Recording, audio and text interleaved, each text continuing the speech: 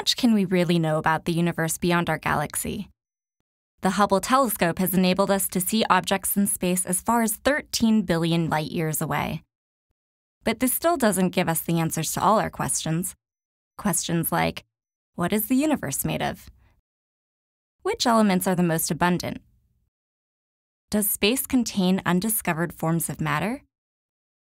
Could there be antimatter stars? Or galaxies?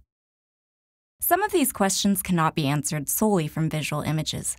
But what if we had messengers bringing us physical data from distant parts of the cosmos beyond the reach of explorers or satellites?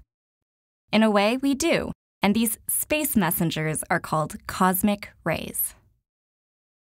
Cosmic rays were first discovered in 1912 by Victor Hess when he set out to explore variations in the atmosphere's level of radiation, which had been thought to emanate from the Earth's crust. By taking measurements on board a flying balloon during an eclipse, Hess demonstrated both that the radiation actually increased at greater altitudes and that the sun could not be its source. The startling conclusion was that it wasn't coming from anywhere within the Earth's atmosphere, but from outer space. Our universe is composed of many astronomical objects billions of stars of all sizes, black holes, active galactic nuclei, asteroids, planets, and more. During violent disturbances, such as a large star exploding into a supernova, billions of particles are emitted into space. Although they are called rays, cosmic rays consist of these high energy particles rather than the photons that make up light rays.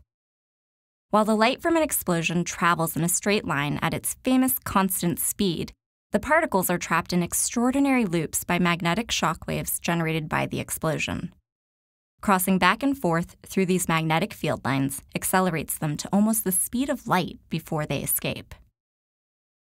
There are lots of cosmic rays in space, and some of these particles have traveled for billions of years before reaching Earth.